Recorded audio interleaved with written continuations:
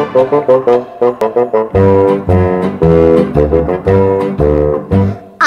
want a hippopotamus for Christmas.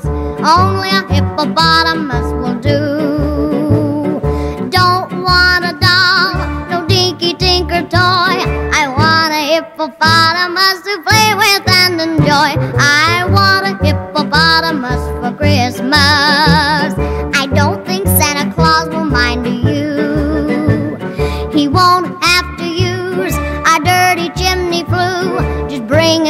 The front door, that's the easy thing to do. I can see me now on Christmas morning creeping down the stairs. Oh, what joy and what surprise when I open up my eyes to see a hippo hero standing there. I want a hippopotamus for Christmas.